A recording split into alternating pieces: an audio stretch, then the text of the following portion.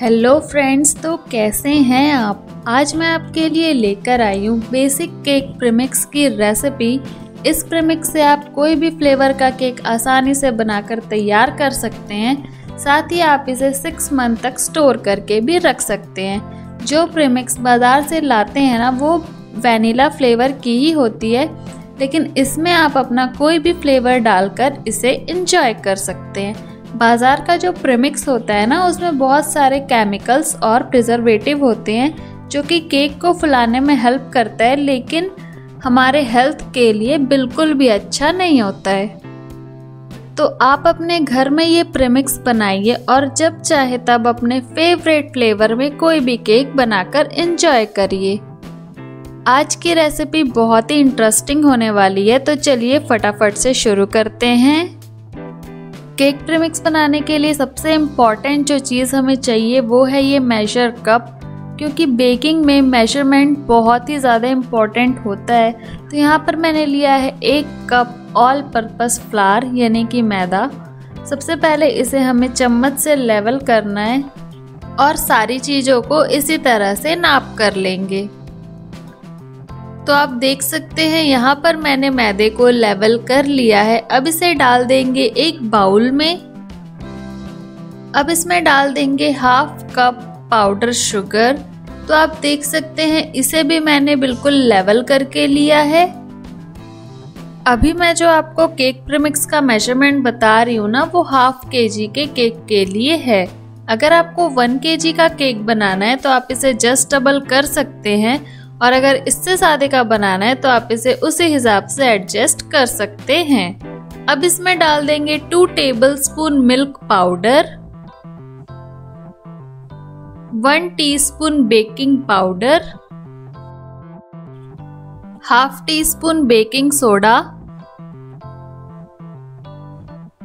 one teaspoon cornflour या फिर corn starch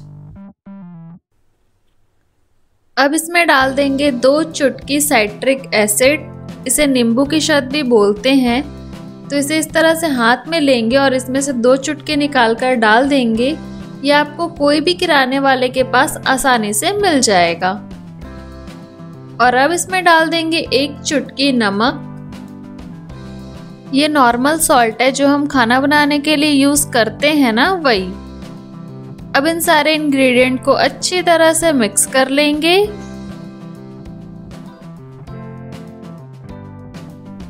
इसे एक मिक्सर जार में डालकर ग्राइंड कर लेंगे ताकि सारे इंग्रेडिएंट अच्छी तरह से मिक्स हो जाए।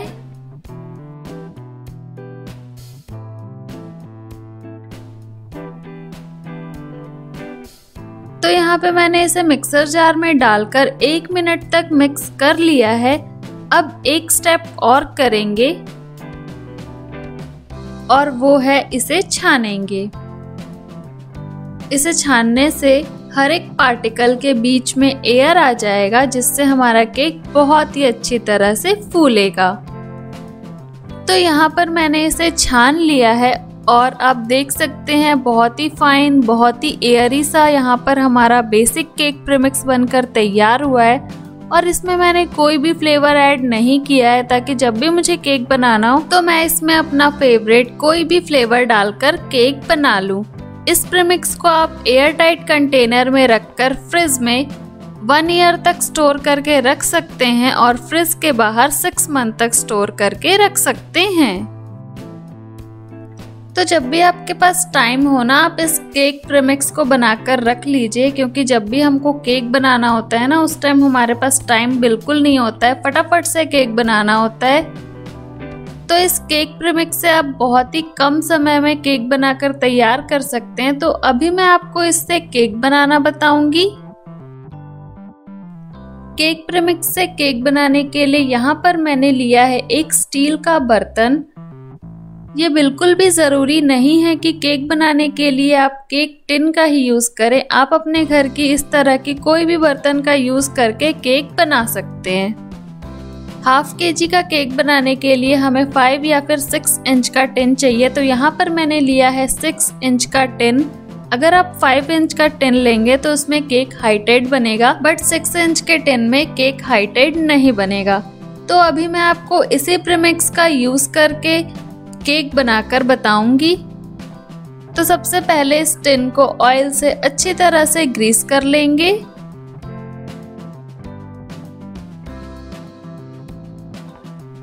तो यहाँ पे मैंने टिन को अच्छी तरह से ग्रीस कर लिया है।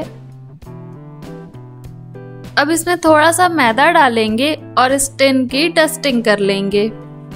तो देखिए, जैसे मैं इसे डस्ट कर रही हूँ ना, आपको भी इसे बिल्कुल इसी तरह से डस्ट करना है।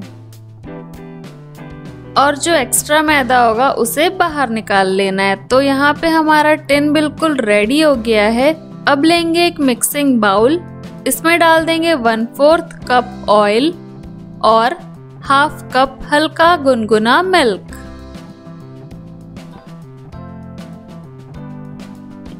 इन दोनों इंग्रेडिएंट को अच्छी तरह से मिक्स कर लेंगे।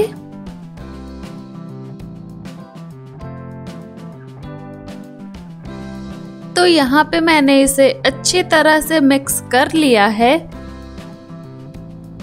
अब इसमें डालेंगे ये केक प्रीमिक्स जो अभी मैंने बनाया था।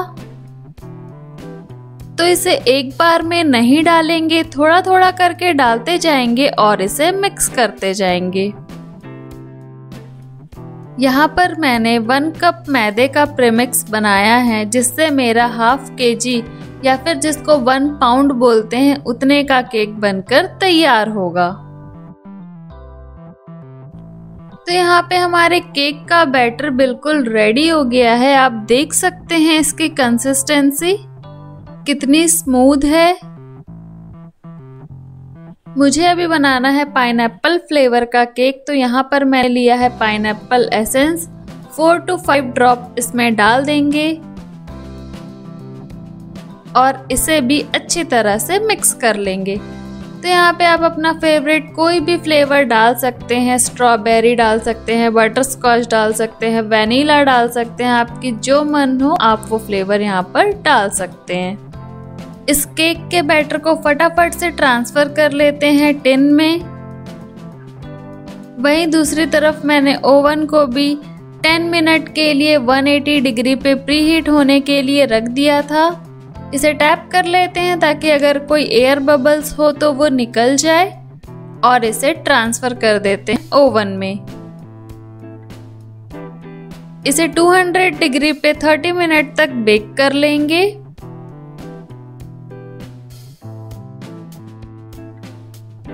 थर्टी मिनट्स हो गए हैं, इसे मैंने ओवन से निकाल लिया है। और आप देख सकते हैं कितना अच्छा कलर आया है। इसमें टूथपिक डालकर चेक कर लेते हैं कि ये परफेक्टली बेक हुआ है कि नहीं। तो आप देख सकते हैं, टूथपिक बिल्कुल क्लीन है मीन्स हमारा केक परफेक्टली बेक हुआ है। इसे हल्का सा ठंडा हो जाने देंगे, उसके बाद इसे डीमोल्ड कर लेंगे। तो सबसे पहले इसे चाकू से इस तरह से इसके साइड्स अलग करेंगे।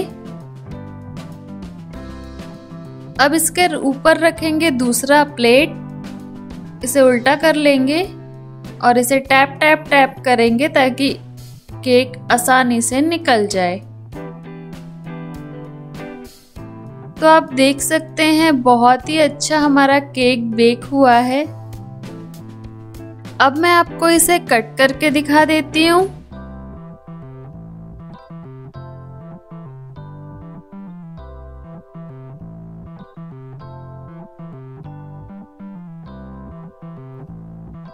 तो आप देख सकते हैं, अंदर से भी केक बहुत ही ज़्यादा सॉफ्ट एंड स्पॉन्जी बना है। वीडियो पसंद आई हो तो वीडियो को लाइक और चैनल को सब्सक्राइब ज़रूर करिएगा और अपकमिंग वीडियो के नोटिफिकेशन के लिए बेल आइकन को भी ज़रूर प्रेस करिएगा। और आपको मेरी आज की वीडियो कैसी लगी मुझे कमेंट सेक्शन में भी ज़रूर बताइएगा। मिलते हैं नेक्स्ट वीडियो में। Thank you for watching.